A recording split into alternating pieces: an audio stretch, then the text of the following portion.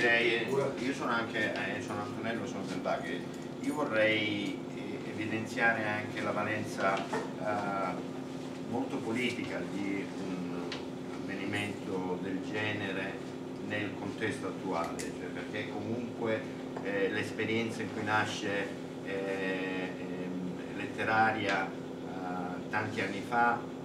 purtroppo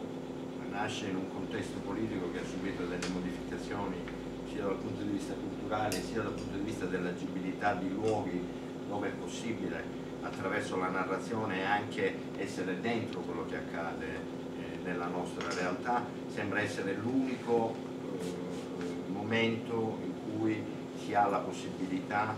di eh, conoscere e ragionare su determinate cose. Penso che oggi la narrazione e molti di questi autori, molti di questi autori che scrivono, anche riprendere eh, come nell'ultimo eh, numero di letteraria delle parole eh, desuete che addirittura nella, nel, nel, linguaggio comune costituiscono quasi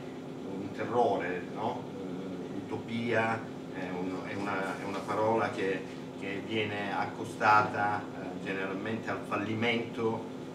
di, una, di,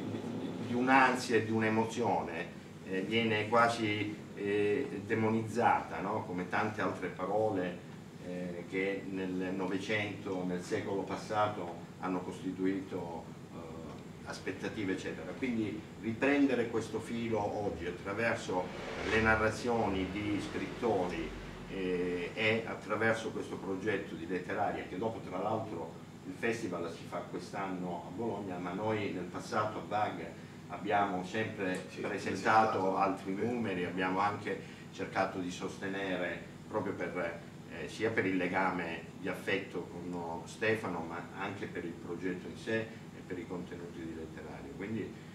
eh, non, non è semplicemente un evento tra virgolette culturale come eh, si, ten, si, di, si, tenta di eh, eh, fare eh, è qualcosa molto di più, eh, molto più profondo ed è anche una visione di come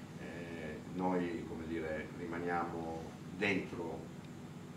la, dentro la storia, ci vogliamo rimanere aggrappati, cioè noi ce la vogliamo far scippare.